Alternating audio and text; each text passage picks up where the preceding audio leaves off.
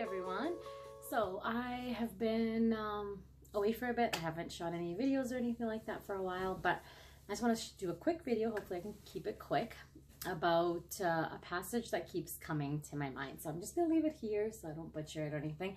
But it's basically, read it here. It basically is talking about how Jesus says that we are supposed to remain in him. So this is something that I was talking to some friends with and I was saying basically how do you remain in him? And so just in dwelling and reflecting the thing that I came up with is that it's sort of something that you know can be done through prayer it can be done through worship it can be done through reading the Bible. And so then it it, it all kind of started with me just confessing that I haven't been carving out time for God. And it's just you know in your busy days a week can pass and it I reflect and I think, oh, have I even read the Bible or prayed today or this, not, not this week, but definitely, you know, that whole day I can go a day without even thinking about God, it seems like. So that whole remain in me thing really convicted me because I'm having a hard time with that. So I decided to try to experiment and try to, okay, so the first step would be basically for me to make time for God in my days. So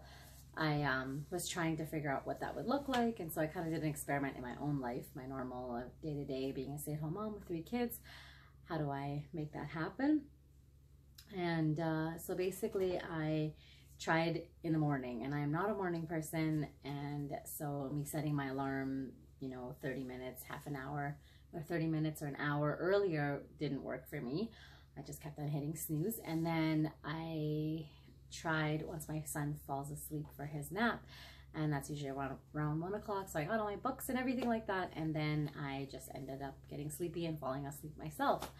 And so night times although i'm a night person is not a great time because i'm not able to concentrate and things like that.